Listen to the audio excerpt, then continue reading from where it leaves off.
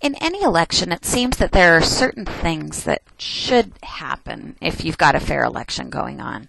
Um, in mathematics, there's generally four what we call fairness criteria um, that it seems like should apply in an election for it to be a good voting system.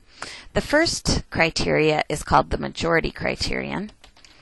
Um, and this is the idea. The majority criterion says that if one if one person gets more than 50% of the first place votes, then he or she should be the winner. Now, the way these fairness criteria work is it's just if there actually is somebody that has more than 50%, we expect that that person should be the winner because that's over half of the people wanted them as their first place person. That only seems fair. Um, that's called the majority criterion. If there is no candidate that has more than 50% of the win- of the first place votes, we don't really care. That's fine. But if there actually is one, then that person should be the winner. If somebody else wins using the election process that you're trying to use, doesn't seem like it's very fair. So, majority criterion. If there's somebody with more than 50% of the first place votes, then that person should win. Another criteria that we have is called the Condorcet criterion. And the idea of this one is that if one person is pre- preferred over each of the other people, then that person should be the winner. Uh, we talked about this a little bit when we were looking for the Condorcet candidate. And if you remember, the Condorcet candidate was who we called was the most popular.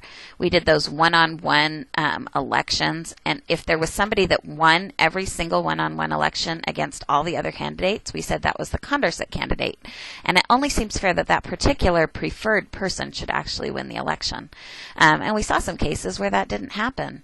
Um, but it seems like that should be the fair thing to happen. And if we had a good voting system, we would like both of these um, different criteria to actually hold. A third fairness criteria, and this may not be one that you think of right away, but it should make sense in terms of, oh, yeah, it seems like that should actually happen, is called the monotonicity criterion. The idea for this criterion is that if one person wins the election and then you hold a re election and all the ballot changes favor the old winner, then that person should win the reelection.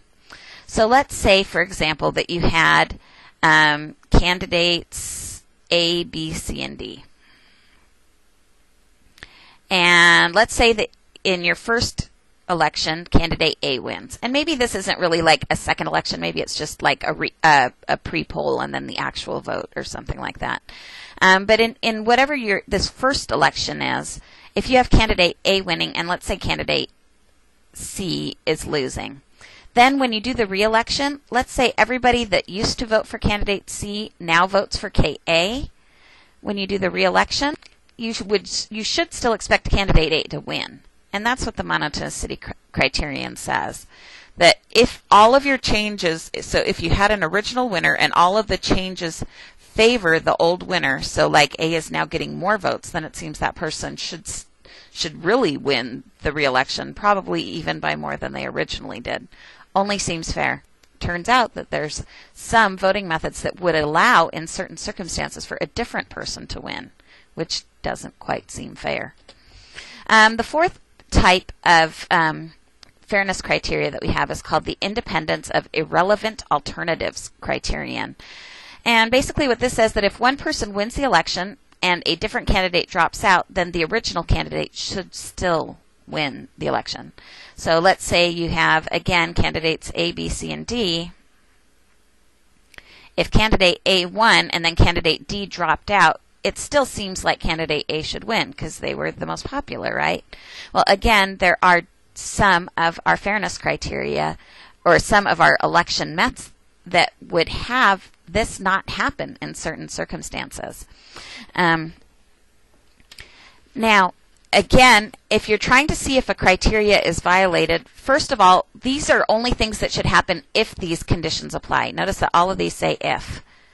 If there's nobody in the election that has more than 50% of the votes, we don't care. The criterion is not violated, it just doesn't even apply. So, in order for a criterion to be violated, what has to happen is First of all, both conditions have to apply. Or the if condition must apply.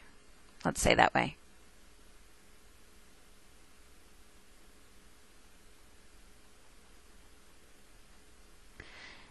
If it doesn't apply, the criteria is not violated. To be violated, you have to have the condition and someone else has to win.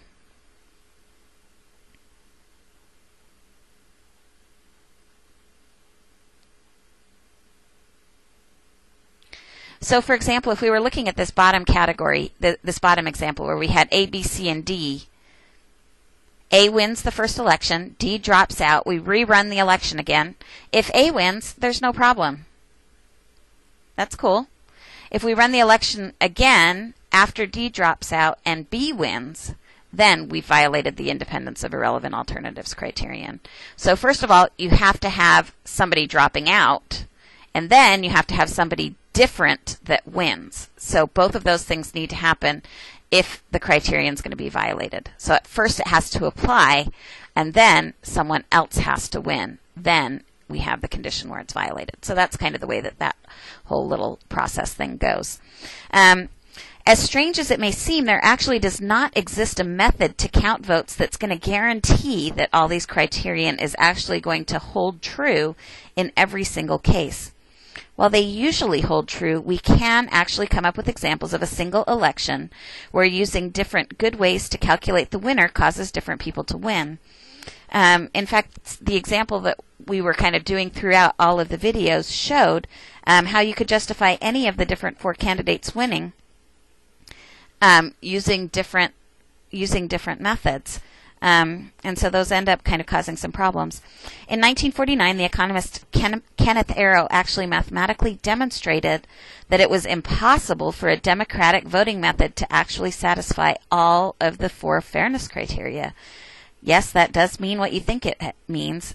It has been proved that if there's more than two choices in an election, so if we have more than two candidates, there does not exist a counting method which is guaranteed to always be fair it is possible, even though it doesn't happen very often, which is what we're counting on, it is possible that different people can win an election simply based on the method that you're using to choose to count the votes.